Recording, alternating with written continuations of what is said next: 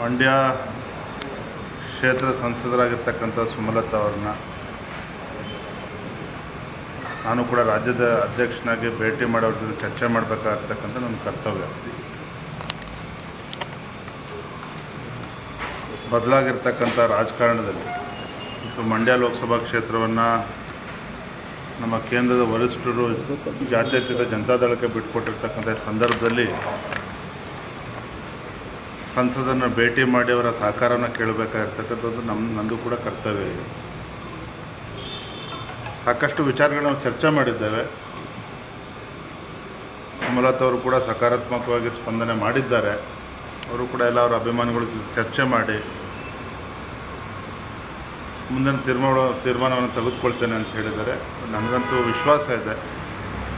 ಅವ್ರು ನಮ್ಮ ಜೊತೆಲಿ ಇರ್ತಾರೆ. ನಮ್ಮ ಪಕ್ಷಕ್ಕೂ ಕೂಡ ಶಕ್ತಿಯನ್ನು ತುಂಬತಕ್ಕಂಥ ಕೆಲಸ ಮಾಡ್ತಾರೆ.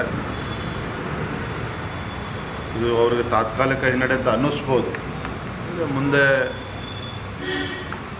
ಭವಿಷ್ಯದಲ್ಲಿ ಅದು ಎಲ್ಲವೂ ಕೂಡ ಒಳ್ಳೆಯದಾಗ್ತದೆ ಅನ್ನೋದನ್ನು ನಾನು ಕೂಡ ಮನವರಿಕೆ ಮಾಡಿಕೊಟ್ಟಿದ್ದೇನೆ. ನಮ್ಮ ರಾಷ್ಟ್ರೀಯ ನಾಯಕರುಗಳು ಕೂಡ ಚರ್ಚೆ ಮಾಡಿದ್ದಾರೆ. ಎಲ್ಲವೂ ಕೂಡ ಒಳ್ಳೆಯದಾಗುತ್ತೆ ಅನ್ನೋ ವಿಶ್ವಾಸ ಸಂಪೂರ್ಣವಾಗಿದೆ.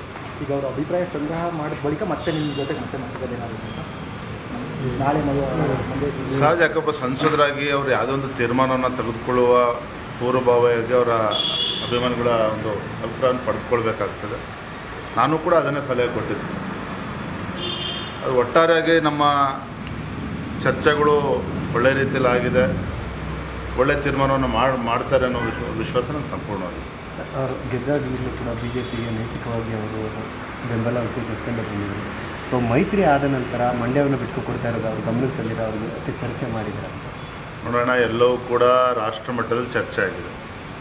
ಬಿ ಜೆ ಪಿ ಮತ್ತು ಜಾತ್ಯತೀತ ಜನತಾದಳ ನಮ್ಮ ಏನು, ಅವ್ರ ಜೊತೆ ನಾವು ಎನ್ ಡಿ ಎ ಸೇರಬೇಕು ಅಂತಕ್ಕಂಥ ಕೂಡ ದೆಹಲಿ ಮಟ್ಟದಲ್ಲೇ ಚರ್ಚೆ ಆಗಿರ್ತಕ್ಕಂಥದ್ದು. ಮೇಡಮ್ ಅವರು ಕೂಡ, ಎಲ್ಲವೂ ಕೂಡ ಅದರ ವಿಚಾರಗಳು ಅವ್ರು- ಅವ್ರಿಗೂ ಕೂಡ ಸಾಕಷ್ಟು ಮಾಹಿತಿಗಳಿದೆ ಇದರ ನಡುವೆನೂ ಸಹ ನರೇಂದ್ರ ಮೋದಿಜಿಯವರಿಗೆ ಶಕ್ತಿಯನ್ನು ತುಂಬತಕ್ಕಂಥ ಕೆಲಸ ನಾನು ಕೂಡ ಮಾಡಬೇಕು ಅನ್ನೋ ಒಂದು ಸದಾಭಿಪ್ರಾಯ ಕೂಡ ಸುಮಲತಾ ಅವರಲ್ಲಿ ಇದೆ.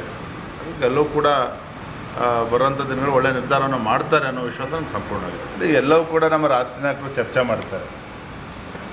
ನನಗಂತೂ ವಿಶ್ವಾಸ ಇದೆ, ಸುಮಲತಾ ಅವ್ರದ್ದು ಅವ್ರದ್ದೇ ಆದಂಥ ಒಂದು ಶಕ್ತಿ ಇದೆ.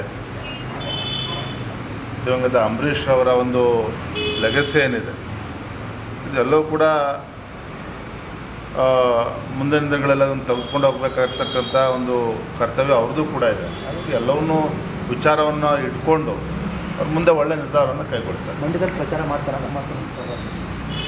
ಉತ್- ಬರೋದ್ರಿಂದ ನೀವು ಉತ್ತರ ಸಿಗ್ತದೆ. ಈಗ ಒಳ್ಳೆ ಒಳ್ಳೆ ರೀತಿಯ ಚರ್ಚೆಗಳಾಗಿದೆ. ನನ್ನಂತೂ ವಿಶ್ವಾಸ ಇದೆ. ಒಳ್ಳೆ ನಿರ್ಧಾರವನ್ನು ಕೈಗೊಳ್ತಾರೆ. ಧನ್ಯವಾದ ಭೇಟಿಯಾಗಿ